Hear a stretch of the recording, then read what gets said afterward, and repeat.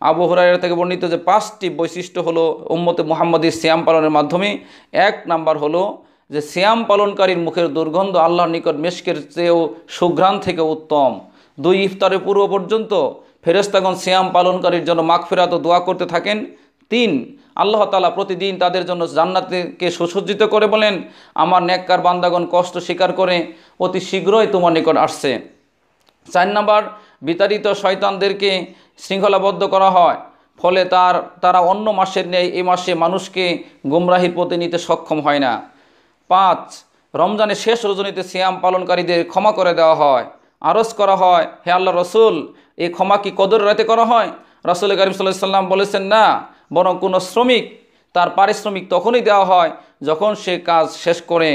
অলাকিন্নাল আমিলা ইন্নামা ইয়াফা আজরুহু ইজা কদা আমালুহু, আমালাহু। যে যখন শ্রমিক তার শ্রম শেষ করে তখনই তাকে এই ফজিলত দেওয়া দেওয়া হয়। আর এই রমজান মাসের এই ফজিলত বা এই যে প্রতিদান আল্লাহ তালা দিচ্ছেন, এর তিনভাবে আমাদেরকে করোনা করছেন। প্রথমত, আল্লাহ তালা আমাদেরকে এই মাসে ন্যাক কাজ করার ব্যবস্থা করেছেন এবং এই মাস দিয়ে আমাদের গুণা মাফ করার মর্যাদা বৃদ্ধির একটা কারণ হিসেবে এই মাসকে দান করেছেন। দ্বিতীয়ত হলো, আল্লাহ তালা এই মাসে আমাদেরকে বেশি বেশি ন্যাক কাজ করার একটা সুযোগ দান করেছেন। এই সৌভাগ্য আর কারোরই হয়নি।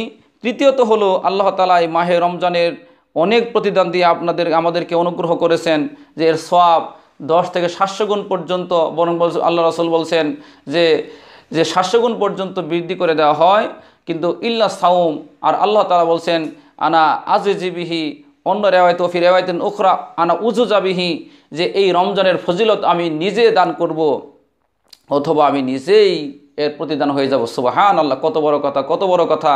সম্মানিত দিনধার ভাইয়েরা, আসুন এই রমজান মাসকে সামনে রেখে আমরা রমজানের শ্যাম পালন করি, রমজানের জন্য আগে প্রস্তুতি গ্রহণ করি।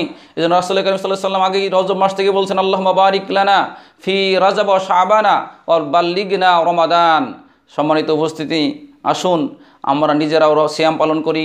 আমার পরিবারস্থ, আমার ছেলে মেয়ে যারা প্রাপ্তবয়স্ক রয়েছে, আমার স্ত্রী, সবাইকে এই শ্যাম পালনের জন্য উদ্বুদ্ধ করি। রমজান মাসকে কেন্দ্র করে কোরআনকে বেশি বেশি অধ্যয়ন করি, পড়ি।